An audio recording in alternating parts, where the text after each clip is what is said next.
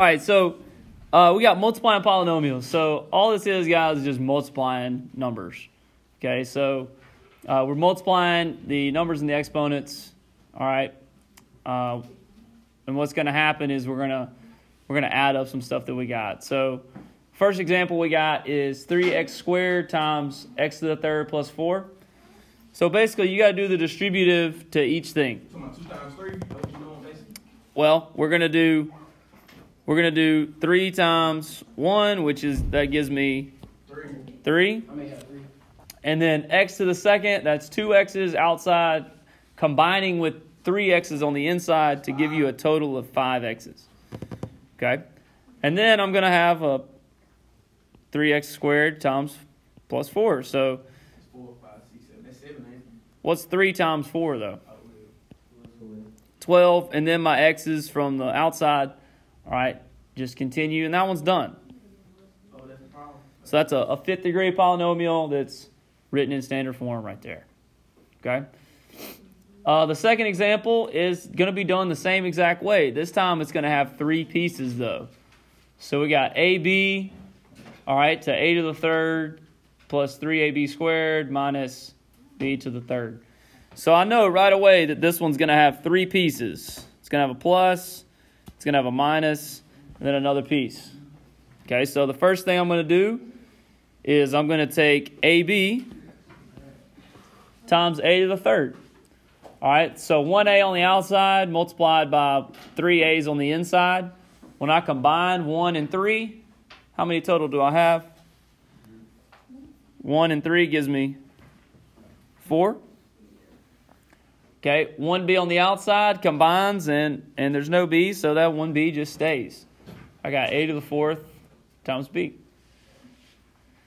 Okay, now again, I'm taking all of this out here and I'm taking it to 3ab to the second. So again, the 3 stays out front of everything. All right, 1a on the outside, 1a on the inside gives me 2a's total. All right, 1b on the outside combining with 2b's on the inside gives me 3. b to the third. Okay, and lastly, take all that to the last part, b to the third. So 1a on the outside combined with no a's on the inside just leaves me with an a. All right, 1b on the outside combined with 3 b's on the inside gives me b to the fourth.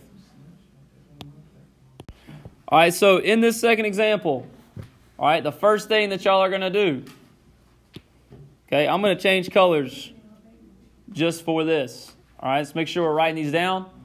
I'm going to take the first piece, all right, and I'm going to multiply it by every piece in the, the next thing. So I'm going to take x and I'm going to multiply it by 1. All right, x times 1 is x okay, or 1x. Then I'm going to take x and I'm going to multiply it by 3x. So x times 3x is 3x squared. Then I'm going to take x and I'm going to multiply it by negative x squared. So that gives me negative x to the third power. Okay, now the x's are done. All right, I've taken x to every piece, to all three things and the other thing. So now I got to take that negative 2. All right, I'm going to go purple. All right, I got to take this negative 2, and I got to take it to all three things in the other piece. All right, so let's look. Negative 2 times 1, negative 2. I got negative 2 times positive 3x, negative 6x. I got negative 2 times negative x squared, positive 2x squared. Okay, then all it does, guys, is it goes back to putting it back in order, adding, subtracting, whatever I got to do to make this thing work. So the, the highest thing that I got is x to the third, so negative x to the third.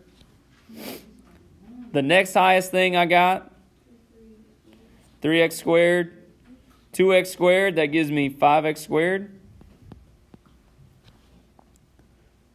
The next thing I got is just x's. 1x minus 6x becomes minus 5x.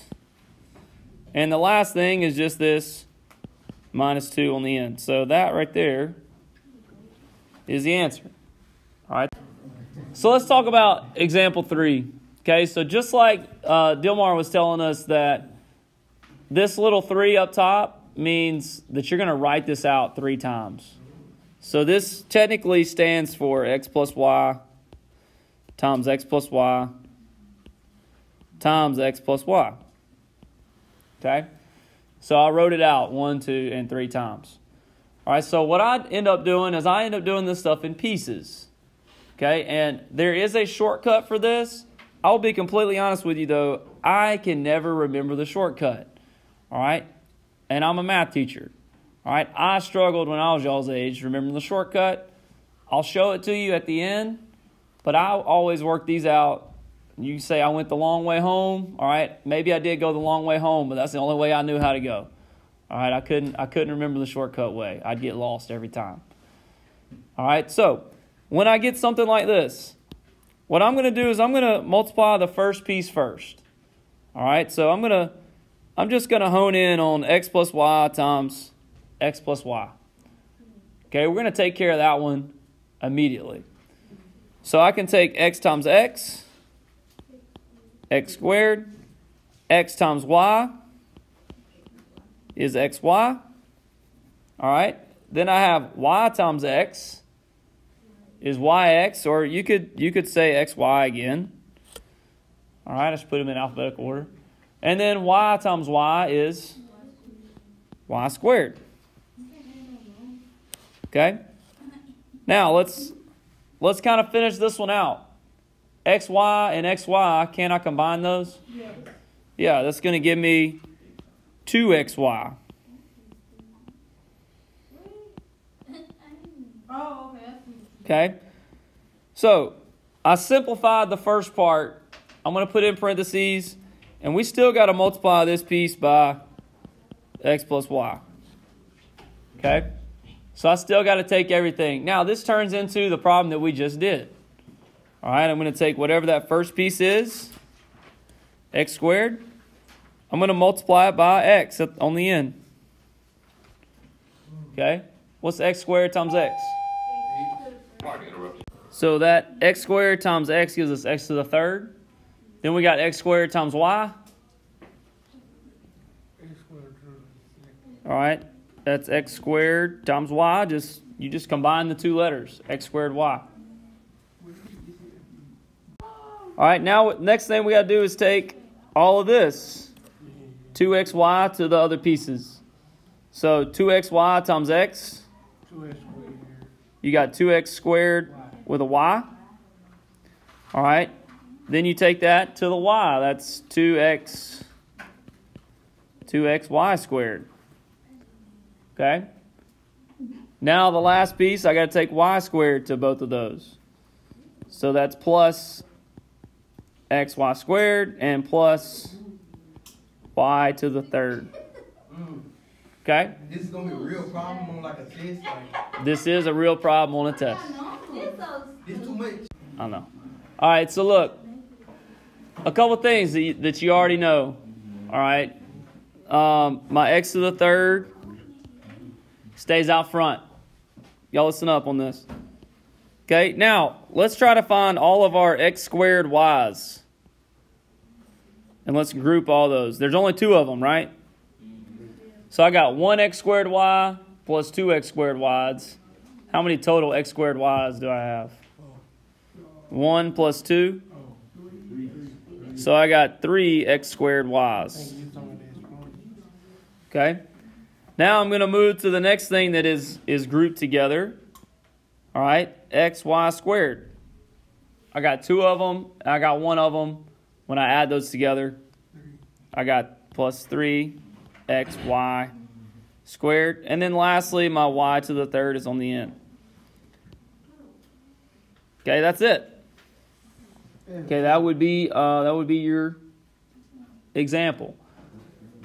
Now, I am going to show y'all in the book. All right, I'm going to stop the video, but I'm going to show y'all the shortcut. Okay, that works.